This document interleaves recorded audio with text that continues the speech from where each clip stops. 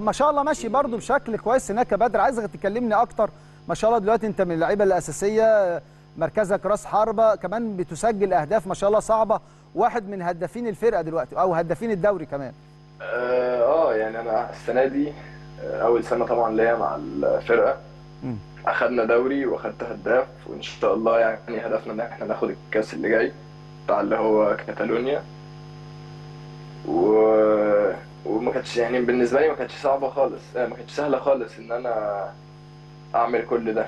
مم. إن أنت تتأقلم مع فرقة ولا بتتكلم مع حد معاهم ولا ولا عارف ولا فاهم حاجة. وإن أنت آه، لغة الكورة حاجة تانية خالص هنا.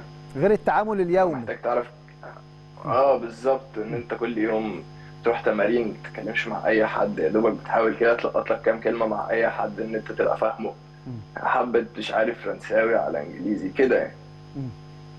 بس دلوقتي خلاص آه، كل ال- ال- الحاجات ال- أو الأمور الصعبة اللي واجهتك في الأول دلوقتي خلاص تأقلمت على أو من ناحية التدريبات أو المعيشة أو اللغة خلاص يا بدر؟ آه آه طبعا. آه يعني أنا مثلا بقالي هنا من شهر تسعة يعني داخل في السبع ثمان شهور دلوقتي. ما شاء الله. فاه يعني آه آه آه تأقلمت على كل حاجة وبروح الفرقة بتكلم مع الناس عادي وهم حتى بيلاحظوا. يعني مع أهالي اللعيبة اللي في الفرقة. في الأول خالص أنا فاكر ما كنتش بتكلم مع أي حد خالص. دلوقتي يعني بدي واخد في الكلام مع أي حد. على طول اللي رايح ويتكلم والحمد لله يعني الحمد لله بقى ليا شعبية كبيرة جدا في الفريق.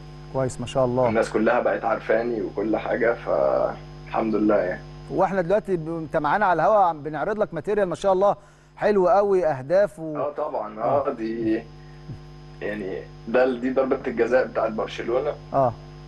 ده إحنا كان عندنا الماتش ده آه الماتش ده كان الجماهير بتوعنا مكسرين الدنيا. مم. يعني إحنا عندنا الماتش الجاي عندنا ضد النص النهائي ضد إسبانيول.